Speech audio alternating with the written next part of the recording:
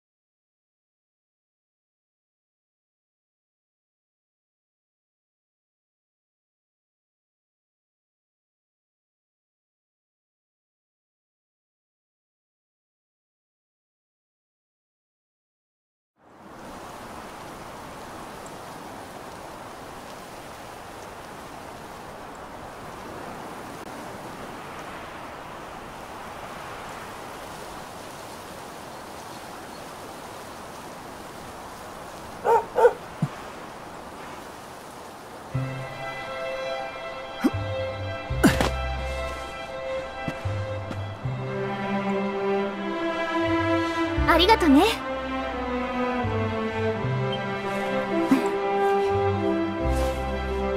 大切な儀式の前にスカーフが風に飛ばされちゃうなんて。私ってばほんとドジだよね。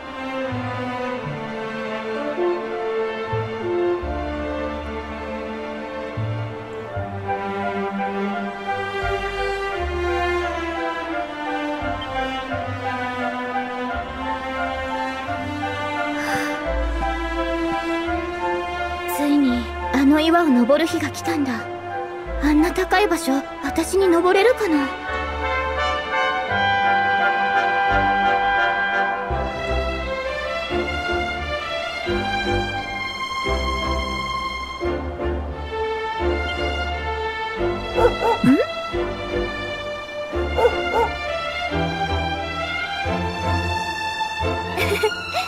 ルキが私たちを案内してくれるみ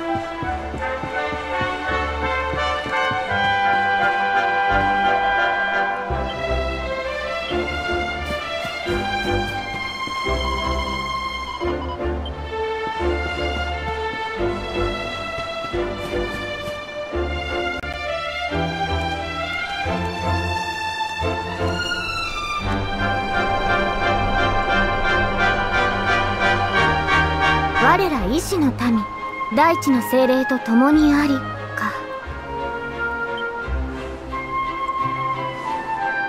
おじいちゃんから聞いたの。あの神の岩には大地の精霊様が宿ってるんだって。小さい頃からずっと16歳になったら神の岩に登って大地の精霊様に祈りを捧げなさいって言われてきたけど。こんなしきたり誰が考えたのかしら。一人前になる前に崖から落ちて怪我でもしたらどうするのよ。でもあなたと生まれた日が一緒だったのが唯一の救いね。一人だったら絶対めげてだもん。それじゃあ行きましょう。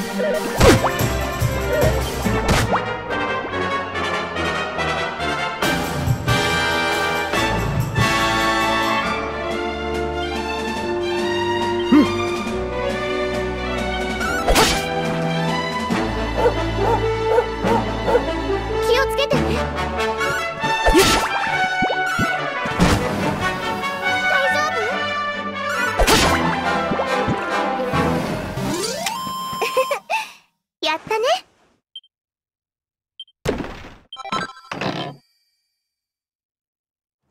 はあびっくりした。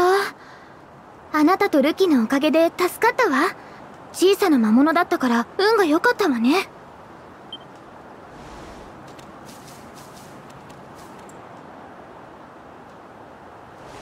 ねえ知ってる？神の岩の頂上へ行くには洞窟を抜けていかないとダメなのよ。さっきの魔物あの洞窟から出てきたのかな？ちょっと怖いけどあなたが一緒だし。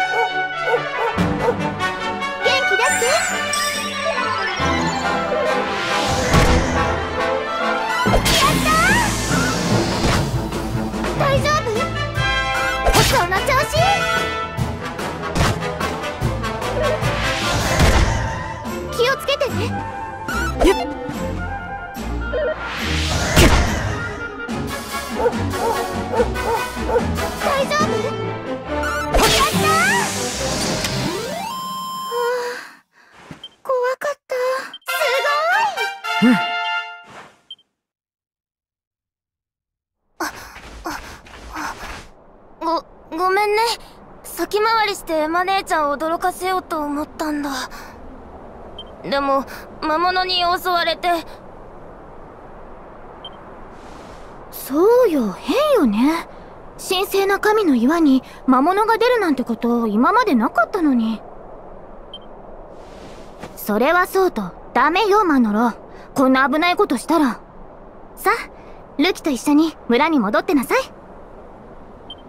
あうん分かったよ。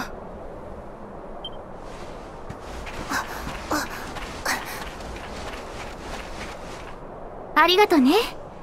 あんな怖い魔物を倒しちゃうなんて強くなったんだ。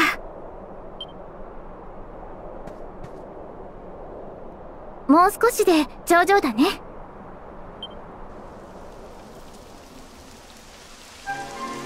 やだ雨が降ってきたわ。急ぎましょう。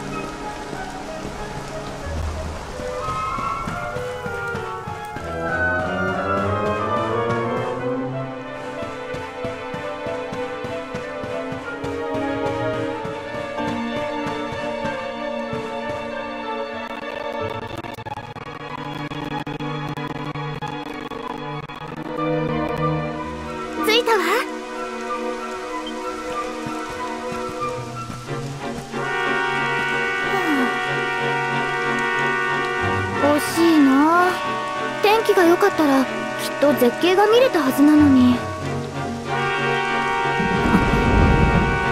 早くお祈りを済ませないと。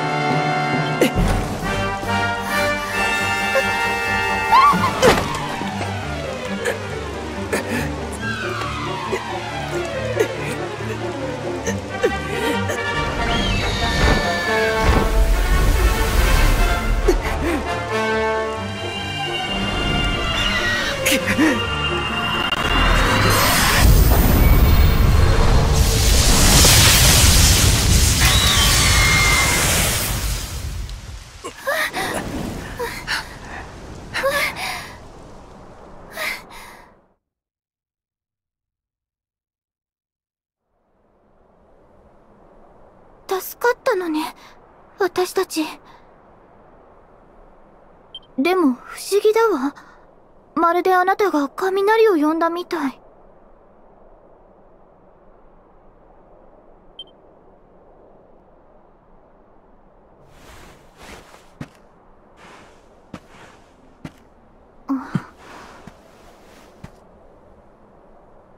その技は一体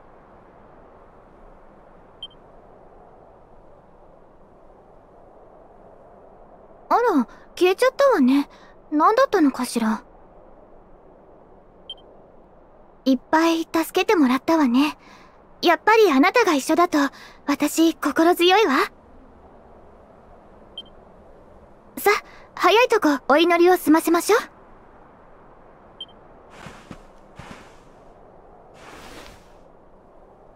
我ら医師の民大地の精霊と共にあり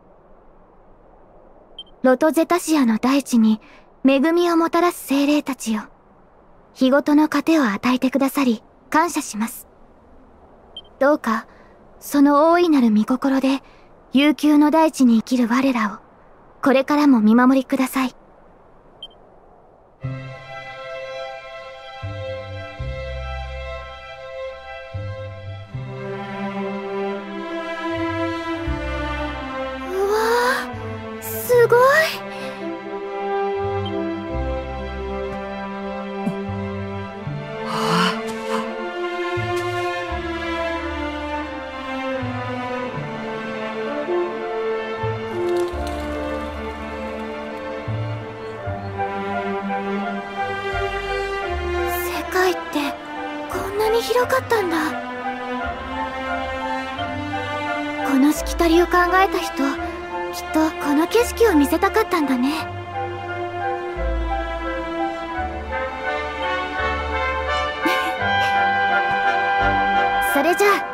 を終えたことおじいちゃんに教えてあげましょう。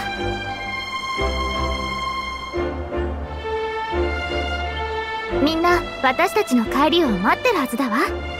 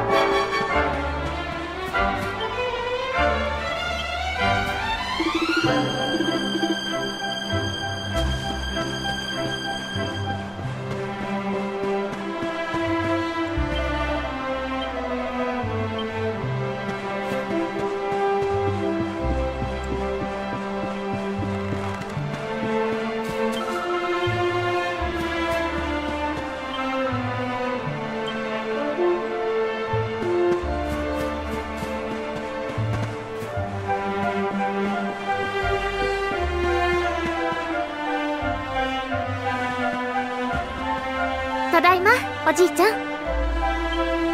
おお二人とも無事に帰ってきて何よりじゃ。神の岩に雷が落ちたから怪我をしてないかみんなで心配しておったわい。頂上で何が起こったのじゃ。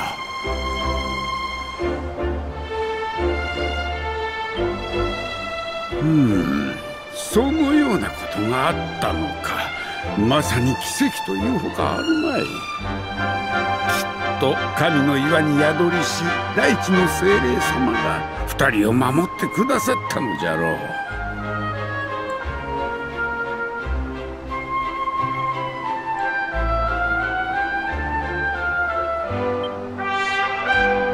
ところでエマよ神の岩の頂上から何が見えたのかわしに教えてくれるかな？ええ見渡す限りの海が見えたわ。お日様に照らされてキラキラしててね。あんな光景初めて見たわ。うんこの世界ロトゼタシアがいかに広大かを石の村しか知らぬお主らも分かったようじゃな。お主らはまだまだ若い。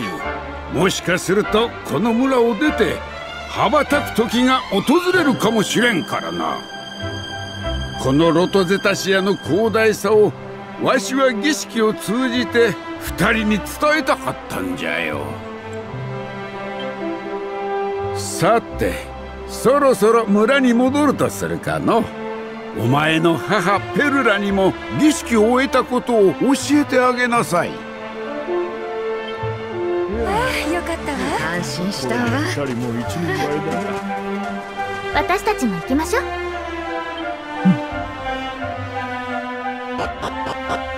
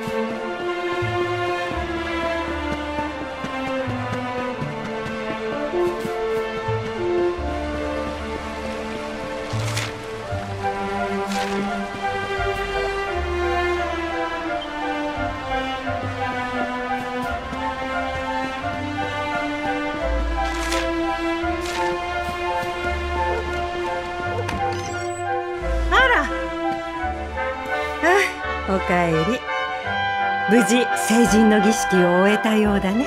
村うちの息子エマちゃんの足手まといにならなかったかい？全然。ねえペルラおばさま聞いて。すごいのよ。神の岩の頂上でね私たち魔物に襲われたの。私なんて崖から落ちそうになっちゃうし本当にもうダメって思ったわ。でもねその時あざがピカーって光って雷が魔物に直撃したの。まるで彼が雷を呼んだみたいに。なんだって？あざが光って魔物を退けた。そうかい。そんなことがあったんだね。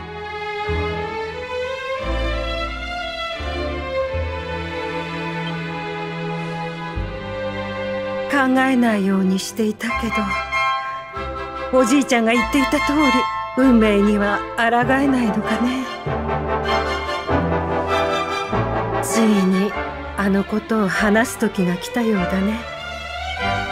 これを受け取りなさい。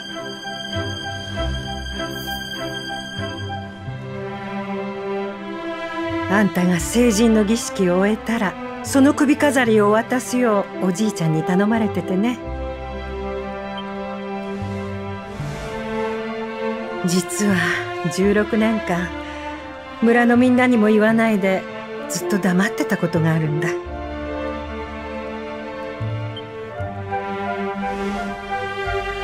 あんたはね勇者の生まれ変わりなんだよ。ゆ勇者？勇者が何なのかわからないけどあんたは大きな使命を背負ってるっておじいちゃんずっと言ってたわ。あんたが成人の儀式を終えたら北の大国デルカダールに向かわせてほしい。そして王様にその首飾りを見せたとき。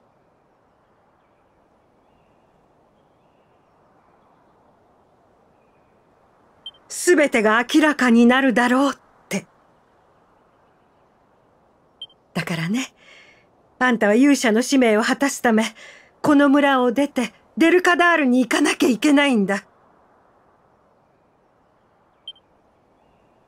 そんな。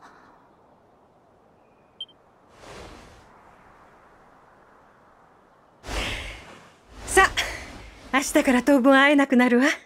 今夜お母さんがとびっきり美味しいご飯を作ってあげるからね。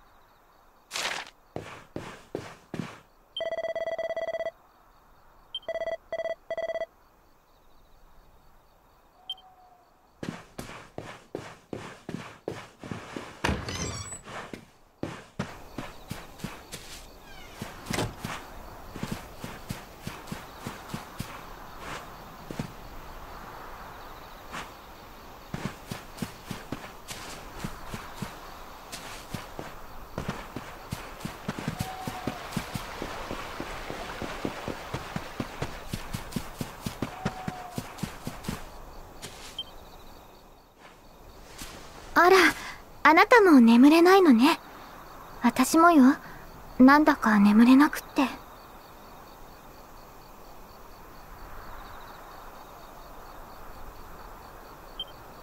ねえ、この木、覚えてる？子供の頃、この木にスカーフを引っ掛けて、私大泣きしたんだよね。でもあなたは、何とかしようと村中を駆け回ってくれて。そういえば、成人の儀式の前にも同じようなことがあったっけ？私、子供の頃からちっとも変わってないわね。私ね、あなたはこの村でずっとみんなと穏やかに過ごしていくんだろうなって思ってたの。だから、勇者の生まれ変わりだってペルラおば様から聞いた時は、とても信じられなくてびっくりしちゃった。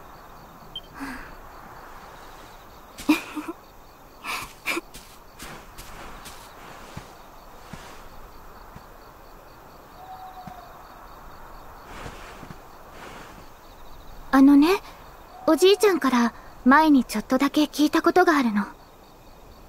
遠い遠い昔、世界中が魔物に襲われて大変だった時、どこからともなく勇者が現れて、世界を救ったんだって。そして、その後勇者は星になって、今もこの世界を見守ってるらしいわ。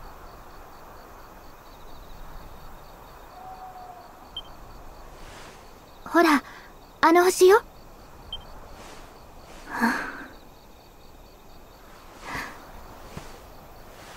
あなたが勇者かなんだか信じられないわ。でも、デルカダールに行けば全てがわかるのよね。さあ、もう自分たちの家に帰りましょう。みんな心配しているわ。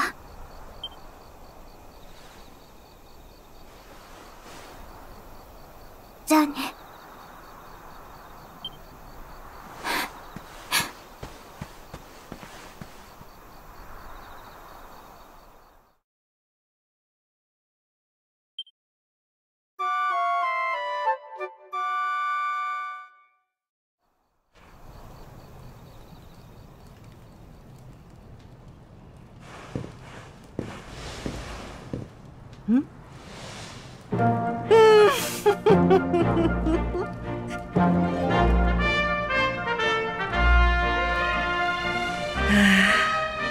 本当に立派になってその姿おじいちゃんにも見せてあげたかったわ。忘れちゃダメだよ。あんたは村で一番勇敢だったおじいちゃんの孫なんだからね。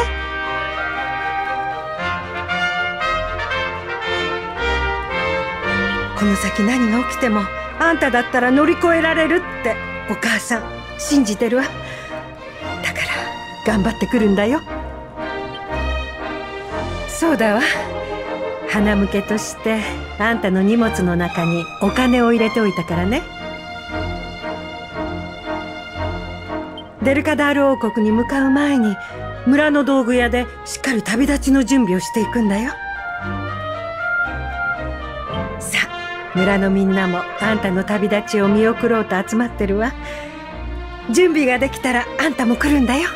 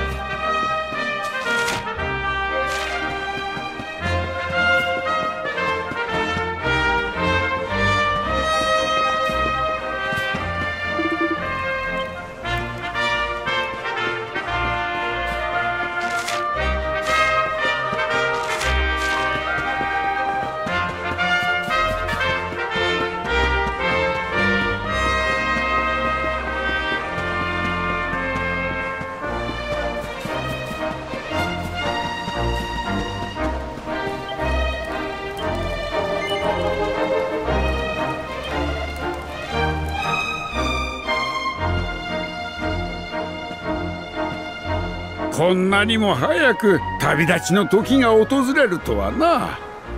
お主の祖父テオにもその勇姿を見せてやりたかったわい。テオがお主を拾っていや連れてきたのは確か16年前じゃったの。ごく普通の子供だとばかり思っていたお主がまさか勇者の生まれ変わりとはの勇者とは伝説の英雄。その昔大いなる闇を払い世界を救った人物と聞く。お主がそんな大それた人物の生まれ変わりだとは到底思えんが。まあデルカダールの王様に会ったらくれぐれもこの村のことをよろしくな。勇者様を育てた村ということで王様から何か褒美がもらえるかもしれんからな。村長そりゃはしたないですって。ははは冗談じゃよ冗談。ともかくこの先お主にはわしらでは想像もつかぬような運命が待ち構えているかもしれん。故郷を離れ旅に出るお主にこのロトゼタ市への地図を授けよう。道に迷った時はこれを見るのじゃ。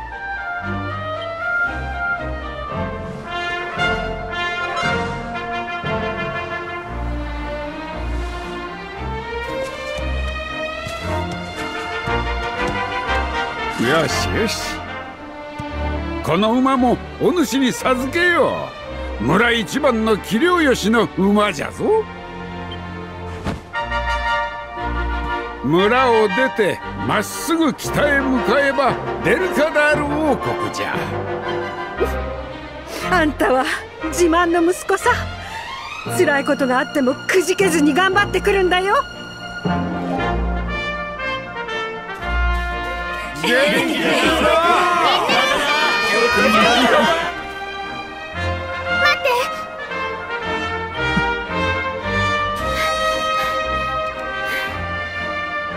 これ受け取って。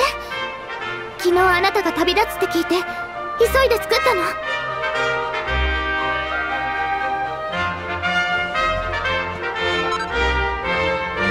デルカダール王国は村を出て北にあるわ。村の外は魔物が出て危険だからそのお守りをしっかり身につけていくのよ。